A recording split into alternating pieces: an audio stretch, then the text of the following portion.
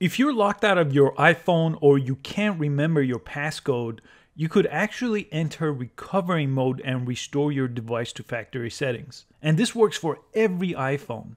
And if you've backed up your phone using iCloud, which most people have, or if they backed it up to a computer, you could use that backup to restore your iPhone after the reset.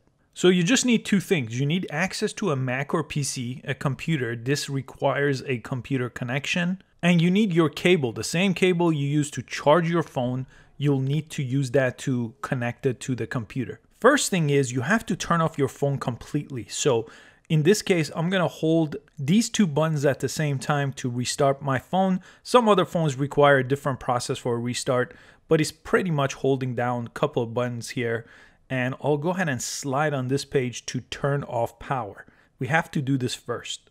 Now at this point, it depends on what phone you have and what button you should press. On the iPhone 8, 8 Plus, iPhone 10 or later, you have to hold the button on the right side. And while you're holding it, don't let go, connect your cable, your lightning cable, your charger cable to the phone. For a few seconds, you'll see the Apple logo. And then as long as you're holding the side button on the right, you'll see a recovery page. And if you do see this page and you're connected to the computer, you'll see an option on the computer to recover your phone.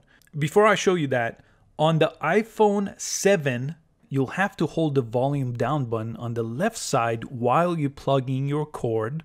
And for iPhone 6 and earlier, you have to hold down the home button right in the center of the phone and plug in at the same time.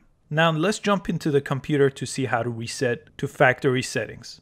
Now let me show you what happens if you connect to a Mac and then I'll show you what happens if you connect to a PC. On a Mac, as long as your phone is connected and you saw that recovery page on your phone, you'll see this window pop up. This is just happening right inside of the Finder window. So my iPhone here showed up right over here on the side and this popped up by itself.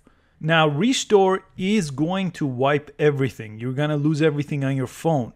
So make sure you log into iCloud.com to make sure you have a backup, or if you use your computer to backup, make sure you have a latest backup there. Because if you do this, you'll have to recover everything from your backup.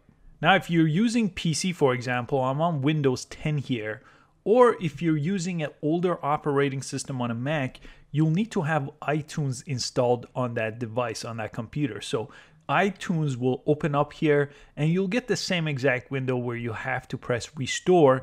And again, you will lose everything on that phone and you will have to again use iCloud or iTunes depending on how you backed up your iPhone to restore everything back to the phone after you reset it. But you'll be able to set a new passcode. So if you forgot your passcode, this is the way around resetting it. I hope you found this video useful. Please give it a thumbs up and subscribe for easy to follow tech videos, and I'll see you next time. Thanks for watching.